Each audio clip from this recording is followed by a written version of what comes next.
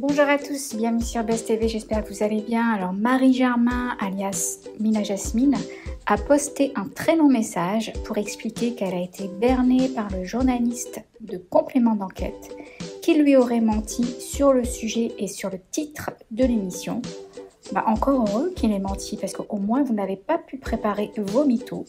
Bon les gars, je sais que vous n'aimez pas lire les longs messages donc je vais le lire pour vous. Je vous laisse avec la story. Bonjour à tous, je tenais à réagir au reportage d'hier soir et au teaser qui tourne depuis une semaine me concernant. J'ai attendu de voir le reportage en entier jusqu'à la fin avant de m'exprimer. Le teaser m'avait déjà choqué tant mon image avait été manipulée, des audios coupés et montés dans le but de prendre une direction très orientée. Mais hier, on a atteint le sommet. Point. La présentation de mon portrait a été catastrophique en tant que femme et désormais femme mariée, j'ai été rabaissée et humiliée. J'ai toujours assumé mon passé, mais ressortir des photos de moi dix ans en arrière, comme si je n'avais pas évolué, c'est pitoyable.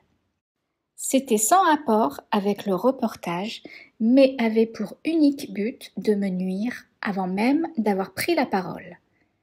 Le tournage a été réalisé fin mars, début avril, bien avant que toute cette polémique autour des influenceurs ne commence.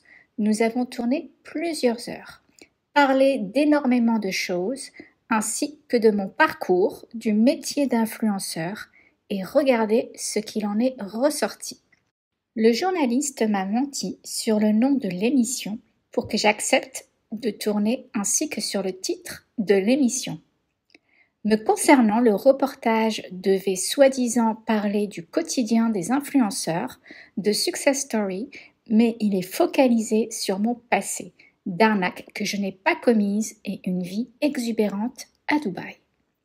J'ai été dupée par une équipe qui s'est faite passer pour des gens bienveillants, qui a profité de ma naïveté et de ma générosité pour sortir les images et audios de leur contexte six mois après dans le but de les utiliser contre moi et d'alimenter cette guerre contre les influenceurs. Je ne cautionne aucune arnaque, mais ce reportage est orienté pour dévaloriser les influenceurs et moi en particulier.